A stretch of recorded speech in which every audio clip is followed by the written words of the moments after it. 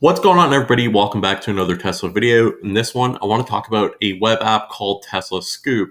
Uh, it is similar to TeslaFi in the sense that it is a data application that gives you really cool information about your Tesla, and it is just an alternative. I actually saw this one posted on Reddit a while back, and I just wanted to give it a try and show you guys how it functions and works. Uh, unlike TeslaFi, you pay once and you get access to both cars. So you can see here I have Mother Frunker and What the Frunk. Uh, just from the dashboard screen, you can see Mother Frunker's charged to 84%, and What the Frunk really needs to charge at 30%. So I got to plug that in. Um, so going into this a little bit further, if you hit View, left side here, it gives you information about the battery and things like that, climate. On the right, it gives you the current location, and it is a picture of the car on a map. Uh, just for privacy reasons, this part will be blurred out. You guys won't be able to see it. As you continue to scroll down, you have recent drives and recent charge sessions. So it gives you like the last one of each uh, and recent vehicle updates. I haven't had this long enough to have software updates. I just kind of wanted to try it out and compare it to TeslaFi. So if we go to recent drives, uh, let's go to view all.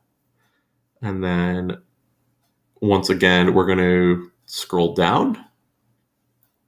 So you can see here on name drive, on name drive, and you can just go back and you can just rename them to whatever you like. But if you click any one of these drives, uh, it gives you your drive efficiency, your average speed, average temperature. It tells you this drive was one day ago with a duration of 30 minutes and a distance of 40 kilometers. If you scroll down, it tells you exactly at every point of the drive uh, your kilometers, your battery percentage, temperature inside and outside, and uh, all sorts of really cool information. So uh, you have drives, charges, and then explore, which is like statistical stuff. Let's see uh, charges. The one thing I like about TeslaFi versus this is TeslaFi gives you a money aspect in terms of like how much you're spending to charge, whereas this is like this gives you like nice graphs, energy added, battery level, and charge rate. And then it, again, it's all like statistical data every four minutes. Uh, but TeslaFi gives you the actual amount that it's going to cost you, which is a nice uh, difference between the two. So, I mean, this one does look nice. If you just want to see like lifetime drives, uh, it tells you the map of where you've driven, uh, your top speed, your average speed, longest drive, average drive. It gives you all that type of information. And this website is really nice to look at, but I find that it gives you less information than TeslaFi. So even this, even though this one's three dollars a month and TeslaFi is five dollars a month, I personally would lean more towards TeslaFi. But again, I just want to give you guys a another option or you know just something else to look at. Maybe one of you guys will like this more. So I thought I'd publish this and uh, let you guys see this and give it a go. Uh, the most kilometers driven. This is kind of cool.